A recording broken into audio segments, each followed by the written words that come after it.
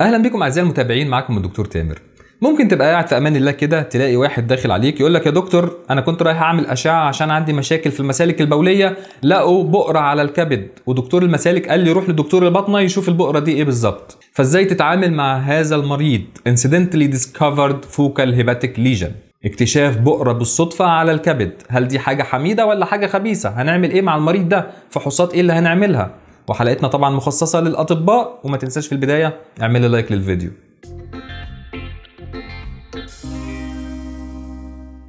بص يا صديقي العزيز موضوع إن إحنا نكتشف بؤرة على الكبد ده بنشوفه كتير شائع. مريض راح يعمل سونار أو أشعة تلفزيونية لأي سبب مشكلة في المسالك مشكلة في المرارة مشكلة في الرحم عند السيدات مثلا. المهم لأي سبب لقوا بؤرة على الكبد.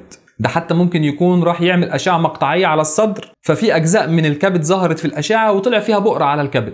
فالمهم مريض جالك واكتشف بالصدفة بؤرة على الكبد هتتعامل معاه إزاي؟ اولا يا صديقي العزيز لازم بالتاريخ المرضي وبالفحص الجيد جدا تستبعد عوامل الخطورة إن المريض ده ممكن يكون عنده يعني ورم في الكبد. يعني لازم تاخد منه تاريخ مرضي كويس جدا ولازم تفحصه كويس جدا عشان نشوف هل عنده أي عامل من عوامل الخطورة اللي تخلينا نشك فيه يعني إنه يكون عنده ورم في الكبد؟ زي إيه؟ بالتاريخ المرضي تشوف هل المريض ده عنده سيروزس أصلا؟ يعني ممكن المريض يقول لك يا دكتور ده أنا عندي تليف من ثلاث سنين من أربع سنين مثلا. هل عنده مثلا عدوى بفيروسات كبدية زي فيروس بي أو فيروس سي حتى لو مفيش تليف؟ هل المريض بتاعنا بيشرب كحوليات بكميات كبيرة؟ هل المريض بتاعنا عنده أصلا ورم سرطاني في أي مكان تاني غير الكبد؟ يعني مثلا عنده سرطان في القولون سرطان في البروستاتا في البنكرياس أي مكان تاني؟ لأن في الحالة دي ممكن يكون اللي في الكبد دي بؤر ثانوية مثلا. هل في تاريخ في الأسرة عيلة هذا المريض عندهم أورام سرطانية أو مشاكل في الكبد؟ فكل الحاجات دي بنشوفها بالتاريخ المرضي. كذلك الأمر بالفحص نشوف المريض بتاعنا ونفحصه هل عنده أي علامات تقول إن عنده مشكلة في الكبد؟ يعني هل في jaundice اصفرار في العين أو يرقان؟ هل في ascites استسقاء؟ هل في lower limb؟ تورم الساقين؟ هل في dilated abdominal veins؟ الأوردة اللي على البطن دي ظاهرة وكبيرة؟ هل عنده gynecomastia اللي هو التثدي؟ هل عنده hepatomegaly أو splenomegaly؟ تضخم في الكبد تضخم في الطحال. هل عنده palpable mass لما تيجي تفحص بطنه لقيت كتلة تحت إيدك أصلا؟ هل المريض بتاعك وزنه نقص جدا؟ عنده cachexia أو هزال؟ هل بيجي له fever أو ارتفاع درجة حرارة كل يوم بالليل؟ هل بيعرق كل يوم بالليل؟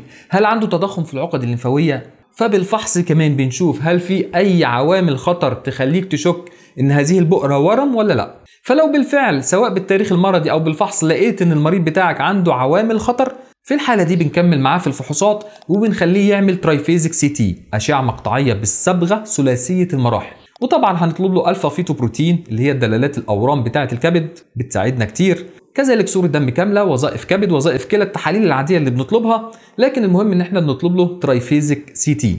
الأشعة المقطعية بالصبغة ثلاثية المراحل غالبا هتقول لك التشخيص. ممكن المريض بتاعك برضو تطلب له رنين مغناطيسي بالصبغة. وده يعتبر ال gold standard هو ده الأساسي في التشخيص لكنه مش متوفر في كل مكان وغالي شوية زي ما إحنا عارفين.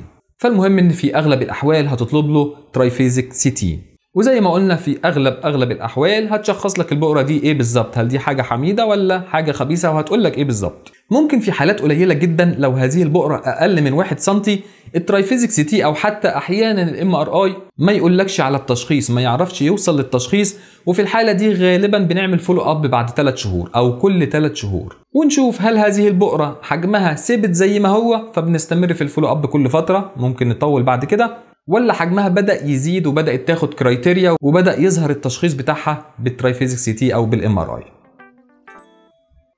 طيب على الجانب الآخر مريض بقى جالك واكتشف بؤرة بالصدفة على الكبد وهو ما عندوش أي تاريخ مرضي لمشاكل في الكبد. مفيش تليف في الكبد مفيش فيروسات كبدية مفيش ورم في مكان تاني الأسرة عنده ما فيهاش أورام ولا حاجة الحمد لله. وكمان بالفحص جيت تكشف عليه لقيته سليم تماما ولا تضخم كبد ولا تضخم طحال ولا عقد لمفاوية ولا jaundice ولا أي حاجة خالص. المريض سليم وما عندوش أي أعراض. في الحالة دي بنشوف السونار قايل إيه بالظبط وإيه ال features اللي هو قايلها. في معظم الأحوال في الحالة دي السونار هيشخص الموضوع أصلا. زي ما بنشوف إن في معظم الحالات نلاقي السونار يقول لك mostly hemangioma يعني دي غالبا وحمة على الكبد بنسميها بالعربي وحمة أو hemangioma السونار هيشخصها خصوصا لو واخد ال criteria حجمها أقل من 3 سم homogeneous well defined margin و hyperechoic وكمان normal liver باقي الكبد سليم تماما. فهنلاقي السونار في الحالة دي بيقول لك أنا لاقي focal lesion بمواصفات كذا كذا كذا ودي mostly hemangioma وإحنا المريض بتاعنا ما معهوش لا تاريخ مرضي. ولا علامات تخلينا نشك في أي حاجة فالمريض ده خلاص بنكتفي على كده ومش بنعمل له فحوصات تانية. أما لو السونار نفسه لم يحدد ومش قادر يوصل للتشخيص ففي الحالة دي هنطلب له المرحلة الثانية من الفحوصات اللي هي triphasic CT أشعة مقطعية ثلاثية المراحل أو رنين مغناطيسي بالصبغة إذا كان موجود. وبرده triphasic CT في الوقت ده برده هيطلع لك التشخيص وهيقول لك إذا كانت دي حاجة حميدة ولا حاجة خبيثة. وكده يعتبر خلصنا حلقتنا النهارده. لو أنت عايز تقفل اقفل. بس أنا هقول شوية نقط سريعة كده لو حابب تسمعها. في بعض الحالات اللي ما بيظهرش التشخيص فيها بالأشعة المقطعية ثلاثية المراحل ولا بالرنين المغناطيسي ولسه إحنا شاكين في المريض فممكن نحتاج ناخد منه عينة. بس طبعا precautions كبيرة قوي بنخاف. لأن البؤرة دي لو كانت malignancy فممكن النزيف يكون شديد. كمان ممكن نعمل انتشار أو seeding لهذه الخلايا السرطانية. فده لازم يكون طبيب متخصص في الكبد هو اللي يحدد إذا كنا ناخد منه عينة أو biopsy ولا لأ. في بعض الأحيان كمان ممكن نلجأ إلى الجراحة لكن دي حاجات متقدمة ملناش إحنا دعوة بيها. بنسيبها للطبيب المتخصص في أمراض الكبد. دلوقتي كمان هقول لك بعض الأمثلة من ال benign focal lesions اللي ممكن نلاقيها وممكن نكتشفها بالصدفة. أول حاجة طبعا والأشهر على الإطلاق هي ال hemangioma أو الوحمة اللي على الكبد زي ما بنقول. في الغالب بتكون بؤرة واحدة لكن أحيانا قليلة يبقى كذا بؤرة لكن أكتر حاجة هي بؤرة واحدة. وبالنسبة للعلاج بتاعها مش بتحتاج أي علاج. لو كانت أقل من 5 سم مش بنعمل أي حاجة تاني بنسيبها زي ما هي. أما لو كانت أكتر من 5 سم فبعد سنة نعمل لهذا المريض triphasic CT أو رنين مغناطيسي بالصبغة. ولو لقيناها زي ما هي ثابتة في الحجم ومفيش أي مشاكل فخلاص بنكتفي على كده. أما لو لقيناها بتزيد في الحجم فبنحولها لطبيب متخصص في أمراض الكبد أو معهد للكبد يتعامل معها. النوع الثاني من ال benign lesions حاجة اسمها focal nodular hyperplasia ودي عبارة عن خلايا من خلايا الكبد ومتجمعة حول scar أو ندبة. وبرضو دي في معظم الأحوال مش بتحتاج أي علاج ولا حاجة لكن لو عاملة أعراض أو عاملة بعض المضاعفات ممكن نحتاج تدخل جراحي أحيانا أو ساعات نعمل لها transarterial embolization أو radiofrequency ablation بس طبعا الكلام ده برضو مع طبيب متخصص في أمراض الكبد. كمان من ال benign lesions هي ال hepatocellular adenoma وده بيكون ورم حميد في الكبد غالبا بيبقى بؤرة واحدة. ومع إنه مش ورم خبيث لكن ممكن يحصل منه بعض المضاعفات زي إنه ممكن يعمل intraperitoneal bleeding أو يحصل فيه necrosis بعض المضاعفات يعني. لكنه في الأساس هو ورم حميد مش بينتشر يعني ومش واخد الصفة الخبيثة. ولو كان حجمه أقل من 5 سم ومفيش فيه أعراض فمفيش علاج لكن بنتابعه كل فترة فقط. أما لو كان حجمه أكتر من 5 سم أو كان عامل بعض الأعراض فده هنحوله لطبيب الكبد اللي هيقول يا إما نعمل له follow up يا إما برضه نعمل له ablation أو نعمل له embolization زي ما يشوف. أما لو كان عامل مضاعفات زي ال intraperitoneal bleeding فدي طبعا حالة خطر وعناية مركزة وتدخل جراحي وحاجات زي كده. كمان من ال benign focal lesions حاجة اسمها regenerative nodules ومن اسمها nodules بتحصل بعد injury في الكبد ودي غالبا بنشوفها في المرضى اللي عندهم تليف في الكبد. يعني برغم إن المريض عنده تليف لكن دي حاجة حميدة مش ورم خبيث. فال regenerative nodules بنشوفها أكتر حاجة في المرضى اللي عندهم تليف في الكبد.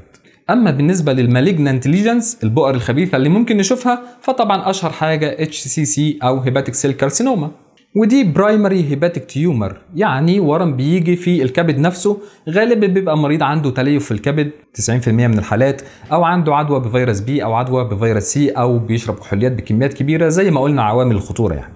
النوع الثاني من البؤر الخبيثة هي ال cholangiocarcinoma ودي عبارة عن ورم أو malignancy ل bile ducts القنوات المرارية سواء hepatic أو extrahepatic bile ducts يعني سواء كانت القنوات المرارية اللي داخل الكبد أو خارج الكبد. كمان النوع الثالث اللي انت ممكن تشوفه اللي هي metastases أو بؤر ثانوية. زي ما قلنا مريض يكون عنده ورم سرطاني في مكان آخر وبدأ يحصل انتشار لهذا الورم وتكون البؤر اللي موجودة على الكبد دي بؤر ثانوية. وفي الحالة دي زي ما قلنا لو طلعت بؤر ثانوية فالمفروض إن إحنا ندور على ال primary tumor فين بالظبط ونشوف مكانه ونتعامل معاه. طبعا كل ال malignancy دي بنحولها لمعهد أورام متخصص عشان يتعامل معاها. ربنا يشفي الجميع إن شاء الله. وفي النهاية أحب أشكركم ما تنساش اشترك في القناة وأعمل like و share. شكرا لحضراتكم.